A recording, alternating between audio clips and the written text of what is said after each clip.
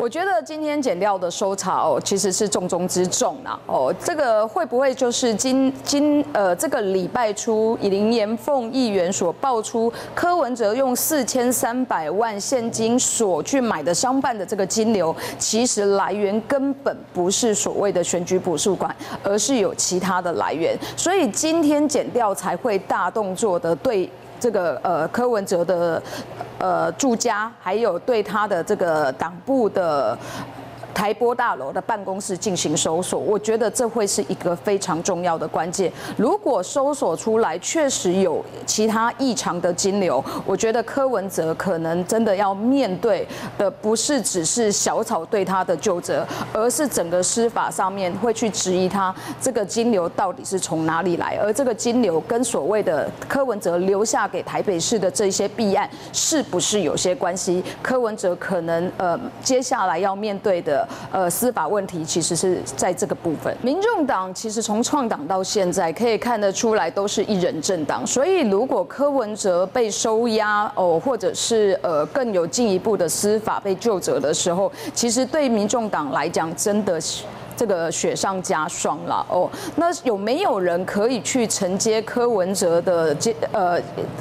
把民众党的党主席接下来，我觉得现在目前看起来已没有可以一统天下的人，所以对于民众党来讲，其实他们现在真的是岌岌可危。所以昨天为什么还有小，昨天为什么还有人要动员所谓的柯文哲支持者到记者会上面去给阿北这个呃信心喊话？其实那不是给柯文哲信心喊话，那是给整个民众党信心喊话，因为他们都知道，如果柯文哲有事。民众党就居居了哦。那我要另外要提到一个事情哦，就是说除了柯文哲之外哦，柯文哲原本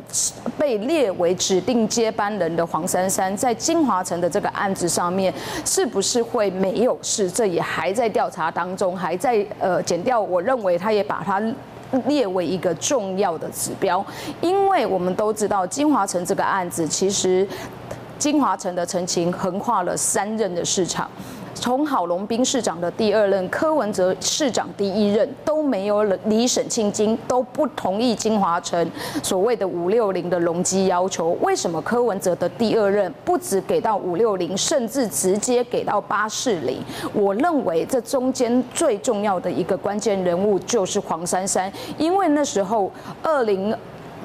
二零一九年，黄珊珊十月的时候担任的副市长，他也是议会的总联络人，所以他对于议员协调的内容，还有包含金华城的陈情书的内容，都有十足掌握。为什么在柯文哲要给金华城？准用都跟二十趴隆基的时候，黄珊珊没有出来阻挡哦。那他在他在这个角色，他在这整个案子里面的角色，到底是推波助澜，还是其实也接受了相关的澄清，然后来帮助这一件事情？我觉得也是减掉接下来调查一个非常重要的重点。如果是他的这个假账案啊，他大概不会被收押哈。如果从金华城案哈，我觉得司法减掉不要把它当做是党主席主要政党党主席啊，这个身份确实太敏感了哈。你要把它当做前市长来看，因为他是以前市长任内啊干下金华城这件事。如果郑文灿可以被收押，为什么柯前市长不能被收押呢？呃，华雅科这个案子啊，根据起诉书，大概是二十四亿的利益啊，不这个开发利益。那金华城是上百亿的利益耶啊。如果说这个。应小薇议员跟他陈情、跟他游说的这个议员已经被收押了，做下决策的市长啊，交办下去启动这个方案的这个市长啊，最后核准这个方案的市长，呃，这被收押也是很正常的吧？何况根据当时郑文灿被收押的其中一个理由，就是他可能对他昔日的下属还有实质的影响力。那对于柯前市长来说，他对于他昔日的下属何尝没有实质的影响力？包括说他之前突然帮为彭正生讲话，说他只是会议的主席，只是主持会议。之后彭正生副市长到议会来作证的时候，就开始同一个口径说：“我只是主持会议而已，我不能影响别人啊。”我觉得这个就是一种隔空的。这个串供跟影响啊，哦，所以我觉得啊，